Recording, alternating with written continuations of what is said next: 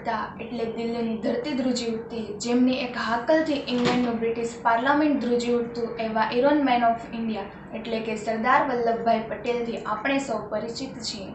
એક આદર્શ સત્યાગ્રહી સ્વાતંત્ર્ય સેનાની આઝાદીના લડવૈયા, ધારદાર હાકલ અખંડ ભારતના ઘડવૈયા, યુગ પુરુષ રાજપુરુષ લોહ પુરુષ, શ્વેત ક્રાંતિની જ્વાળા એવા સરદાર પટેલની આ વાત છે. આજે એકત્રીસ ઓક્ટોબર એટલે કે એમની જન્મ જયંતિ કે જેને આપણે રાષ્ટ્રીય એકતા દિવસ તરીકે ઉજવીએ છીએ. આજથી ઘણા વર્ષો પહેલાં, આજ એકત્રીસ ઓક્ટોબર અઢારસો પંચોતેરના રોજ જેમનું આ રાષ્ટ્રની ધરતીને પાવન કરવા, આ ગુર્જર ભૂમિની ખુમારી વધારવા અને બ્રિટિશરોના કાળજા કંપાવવા નડિયાદ ગામે માતા લાડબાઈ અને પિતા ઝવેરભાઈના ઘેર અવતરણ થયું હતું. એવા આ ભારત માતાના વીર સપૂતને આજ એમની જન્મ જયંતિ નિમિત્તે શત શત વંદન. કોઈ માણસ તેના જન્મથી મહાન હોતું નથી, તેના કર્મોથી જ મહાન બને છે અને કર્મો જ તેને મહાન બનાવે છે. માણસમાં રહેલ ઊંડા ગુણો અને મહત્વકાંક્ષાઓ માણસને ઉચ્ચ ચારિત્ર્ય બક્ષે છે. વલ્લભભાઈ પણ એક આવી જ ઉચ્ચ મહત્વકાંક્ષા ધરાવનાર મહાપુરુષ હતા. બાળપણથી જ તેઓમાં સત્ય, અહિંસા, નિડરતા, નેતૃત્વ, દ્રઢ મનોબળ જેવા લોખંડી ગુણો હતા. ગુજરાતી માધ્યમની શાળાથી શૈક્ષણિક કારકિર્દીની શરૂઆત કરી અઢારસો સત્તાણુંમાં હાઈસ્કૂલ પાસ કરી અને કાયદાની પરીક્ષાઓની તૈયારી શરૂ કરી. બેરિસ્ટરનો અભ્યાસ કરવા માટે ઇંગ્લેન્ડ ગયા ત્યારે છત્રીસ મહિનાનો અભ્યાસક્રમ માત્ર ત્રીસ મહિનામાં પૂરો કર્યો અને સમગ્ર કોલેજમાં ટોપ રહ્યા હતા. બેરિસ્ટરનો અભ્યાસ પૂરો કરી ભારત પાછા ફર્યા ત્યારે અંગ્રેજોએ તેમને અનેક આકર્ષક પોસ્ટો ઓફર કરી હતી. પરંતુ વલ્લભભાઈ તો બ્રિટિશરોની સરકાર અને તેમના કાયદાઓના કટ્ટર વિરોધી હતા. તેથી તેમણે ઓફરોને ફગાવી દીધી હતી. તેમની આ પોસ્ટોને તેમણે રિજેક્ટ કરી નાખી હતી. એક વખત ત્યારેજીના પ્રવચનમાં ભાગ લીધો, ત્યારે આ ગાંધીજી સાથેની તેમની પહેલી મુલાકાત હતી અને ગાંધીજીની ભાષા, શબ્દો, સત્ય, અહિંસા, સદાચારના ગુણોની વલ્લભભાઈ પર એવી ભારે અસર પડી. કે તેમના અનુયાયી બનવા માટે તેમણે તેમના સિદ્ધાંતો અપનાવ્યા અને તેમના પથે ચાલ્યા. અને આઝાદીની લડતમાં ગાંધીજીના સાથી બન્યા. જ્યારે અંગ્રેજો આ દેશની પ્રજાને ગુલામીના પાઠ ભણાવી રહ્યા હતા, ત્યારે વલ્લભભાઈ અને ગાંધીજી જેવા અનેક સત્યાગ્રહીઓએ સંગઠિત થઈ, એકીકૃત બનીને આ રાષ્ટ્રની પ્રજાને આઝાદીના પાઠ ભણાવ્યા હતા.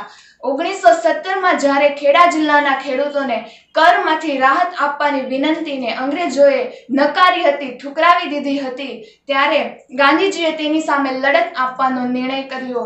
પરંતુ આ સમયે તો ગાંધીજી ચંપારણ્યમાં વ્યસ્ત હતા. તેથી લડતનું નેતૃત્વ કરી શકે તેમ ન હતા. આથી લડતનું નેતૃત્વ કરવા માટે તેમણે એક સક્રિય કાર્યકરને પોતાની જાત સમર્પિત કરવાની હાકલ કરી. ત્યારે વલ્લભભાઈએ સ્વેચ્છાએ પોતાનું નામ આગળ ધર્યું અને લડતનું નેતૃત્વ કર્યું અને લડતને પાર પાડી હતી. ઓગણીસો સત્તરથી શરૂ થયેલી આ યાત્રાએ ઓગણીસો અઠ્યાવીસમાં એક અદ્ભુત અને અજોડ સફળતા હાંસલ કરી હતી. સમગ્ર વિશ્વ જે ઘટનાની એક એક વાતથી વાકેફ છે એવી ઘટના એટલે બારડોલી સત્યાગ્રહ. આ બારડોલી સત્યાગ્રહ વખતે સરકાર સામે અંગ્રેજો ઉપર આફત બનીને આવી પડેલ વલ્લભભાઈએ એક ખરેખર અકલ્પનીય સિદ્ધિ હાંસલ કરી હતી અને ખેડૂતોને કરમુક્ત કરાવ્યા હતા અને આખરે ખેડૂતોને ન્યાય મળ્યો હતો. ત્યારે ગાંધીજીએ વલ્લભભાઈના આ કાર્યને એમની આ કુશળતાને બિરદાવતા સરદારનું બિરુદ આપ્યું હતું અને સમગ્ર ભારતમાં વલ્લભભાઈ સરદારના નામથી ઓળખાયા હતા. અને કદાચ આજે આખું વિશ્વ પણ તેમને આ જ નામથી ઓળખે છે. જ્યારે ગાંધીજીએ દાંડી સત્યાગ્રહનો નિર્ણય કર્યો, ત્યારે તેમની આ યોજનાના પાયામાં જ સરદાર અગ્રણી હતા. કારણ કે આ માટે તેમણે પોતાની યથાશક્તિ અને અથા પ્રયત્નોને લગાવીને આ સત્યાગ્રહની લડત આપી હતી. ત્યારે અનેક વાર જેલમાં ગયા અને બહાર આવ્યા. છતાં અવિરતપણે સત્યાગ્રહ શરૂ રાખ્યો અને સત્યાગ્રહને પોતાની બહાદુરીથી પાર પાડ્યો હતો. જ્યારે ઓગણીસો બેતાલીસની વાત કે ગાંધીજી હિન્દ છોડો આંદોલનની જાહેરાત કરવાના હતા, એ પહેલા જ વલ્લભભાઈએ અંગ્રેજોને, બ્રિટિશરોને તેમની સ્પષ્ટ અને ધારદાર વાણીમાં જણાવી દીધું કે હવે તમારી સરકાર અને તમારા કાયદાઓ અમારી પ્રજા અને માતૃભૂમિનું રક્ષણ કરી શકે એમ નથી. તેથી હવે અમે અમારી જાનની બાજી લગાવીને અમારી માતૃભૂમિ માતૃભૂમિ અને અમારી પ્રજાનું રક્ષણ કરીશું. અને તેમના ધારદાર શબ્દોની અસર છેક ઇંગ્લેન્ડ સુધી થઈ, ત્યારે ઓગણીસો સુડતાલીસમાં લોર્ડ માઉન્ટ બેટન ભારત આવ્યા અને ચાર જૂન ઓગણીસો સુડતાલીસના રોજ તેમણે એક અખબારી પરિષદમાં જાહેરાત કરી કે સત્તાની ફેરબદલીનો દિવસ કદાચ પંદર ઓગસ્ટ ઓગણીસો સુડતાલીસ આવી શકે એમ છે. અને આખરે એ દિવસ આવ્યો કે જ્યારે ભારતની રાજધાની દિલ્હીના લાલ કિલ્લા પર સૌ પ્રથમવાર ભારતનો રાષ્ટ્રધ્વજ લહેરાયો અને દેશ આઝાદ થયો. આઝાદીનો પર્વ સમગ્ર દેશમાં મનાવાયો હતો. દેશ આઝાદ તો થયો, પરંતુ એ વખતે વલ્લભભાઈને ભારતના વડાપ્રધાનનું પદ મળ્યું હતું. પરંતુ ગાંધીજીના કહેવાથી તેમણે આ પદનો ત્યાગ કર્યો હતો અને ભારતના સૌ પ્રથમ ડેપ્યુટી પ્રાઇમ મિનિસ્ટર અને હોમ મિનિસ્ટર તરીકે કાર્ય કર્યું હતું.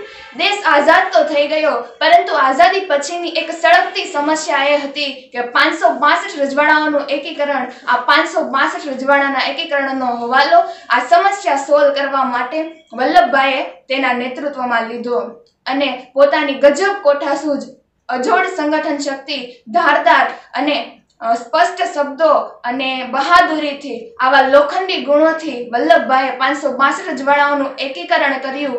એકીકૃત કરી અખંડ ભારતની રચના કરી અને અખંડ ભારતના ઘડવૈયા, અખંડ ભારતના શિલ્પી બન્યા હતા.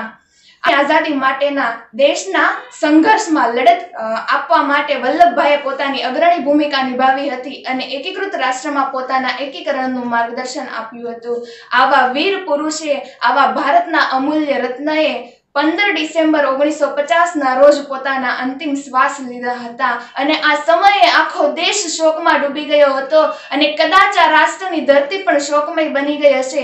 કારણ કે આ રાષ્ટ્રે તેના અમૂલ્ય રત્નને ગુમાવ્યું હતું. આ ભારત માતાએ તેના વીર સપૂતને ગુમાવ્યા હતા. દુનિયાના ઇતિહાસ પર નજર કરીએ તો માત્ર ને માત્ર વલ્લભભાઈ જ એક એવા નાયબ વડાપ્રધાન હતા કે જેમણે માત્ર ને માત્ર રૂપિયા બસો ત્રેસઠની મરણ મૂડી સાથે આ ધરતીને છોડી હતી. અને તેથી જ કદાચ આજે આ એકસો બ્યાસી મીટર ઊંચું સ્ટેચ્યુ એમને સમર્પિત થયું છે. એમના નામે સમર્પિત થયું છે. જે સમગ્ર વિશ્વમાં ભારતની એકતાની ઝાંખી પ્રદર્શિત કરે છે. જે ભારતની એકતાનું પ્રતીક સાબિત થયું છે. અને જે વિશ્વની સૌથી ઊંચી પ્રતિમા છે. આવા વીર પુરુષ સરદાર વલ્લભભાઈને આજના દિવસે સતસત સત નમન.